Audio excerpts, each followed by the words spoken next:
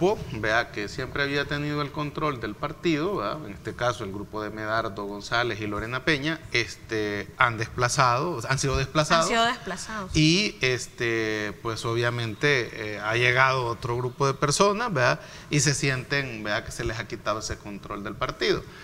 Ahora, eh, tanto Arena como el FMLN están en una situación en la que necesitan forzosamente renovarse, eh, tener voceros a los que no se les pueda señalar nada, que puedan ir a los medios, eh, desplegar... Y aún así cargan con todo el lastre de los Claro, pero, pero puedes separarte es una cultura que tenés que crear en la conciencia ciudadana porque en este momento la gente escucha FMLN o Arena y... entonces, entonces, tienen que comenzar, tienen que comenzar a eso. Entonces, pero igual hay que, hay que separarse de esa corrupción. Entonces, eh, de alguna manera creo yo que están en ese proceso. Hay que, y siempre van a haber heridos en esos procesos. Pero fíjate que tienen razón en el enfoque que ellos hacen cuando dicen hay, hay muchos militantes del partido que conocen a estos funcionarios del FMLN histórico que los han conocido en su faceta de funcionarios. Entonces, en su faceta de funcionarios, pues yo creo que han dejado bastante que, que, admirar. Mira, el punto neurálgico ahí es que solamente dos periodos podés, eh, te, da el cambio. Y pareciera ser que hay inconformidad en el grupo de los actuales. porque, ya, no pueden seguir. ya no pueden seguir. Así es, a eso es lo que me refería. según lo dijo Manuel. Eh, Manuel, la tesis de Manuel. ahí, contigo debatió ese tema. que pueden, pueden competir. Y tú lo cuestionaste. ¿Y entonces dónde está el relevo? Le dijiste en radio. Escuchen a ellos en radio.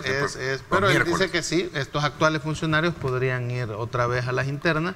Y si son pero entiendo que los estatutos ya no lo permiten, porque, ah, bueno, él dijo que era no retroactivo. No retroactivo, sino hacia futuro, va, que entran en vigencia a partir de tal fecha, y eso como que al pero si ya estuviste dos veces y ya entró en vigencia, ya no podría ir un tercero. Ya no podría. porque ya está vigente la ley. Mira, dijo, yo le pregunté a Dagoberto la semana pasada que conversé con él y él me decía lo siguiente. Eso es cierto. ¿Verdad? Eh, la gente dice rechaza todo lo que venga de los antiguos partidos políticos y más aún cuando los partidos políticos están hablando como han hablado siempre, dice.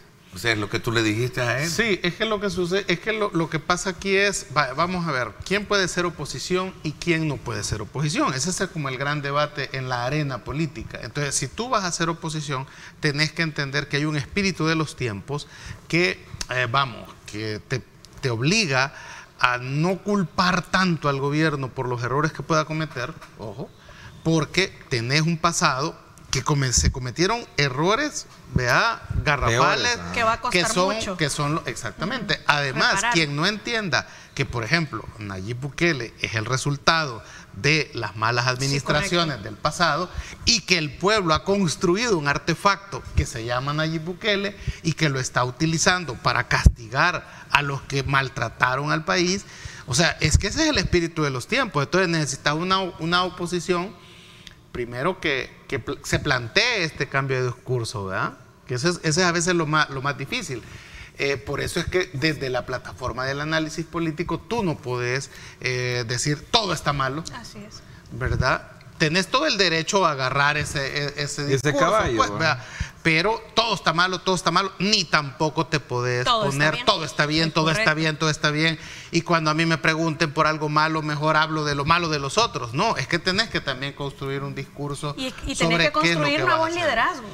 Pero no puedes permitir que quiera tomar, adquirirse el título de nuevo líder una persona con pasado. Pero fíjate que eso es lo que yo he visto y he sostenido, que cuando vemos evolución del señor presidente, por ejemplo, él tenía una forma de reaccionar que ha ido moderando y ha ido mejorando políticamente hablando. Hubo una situación que ya lo hemos planteado acá y en radio también, y él sale en un Twitter diciendo al final, es que el soberano es el que manda. Tanto así cierra él en ese Twitter y dice que a mí me puede cambiar. Y sale su misma gente del partido y, le apoya. Y eso te demuestra la madurez con el que él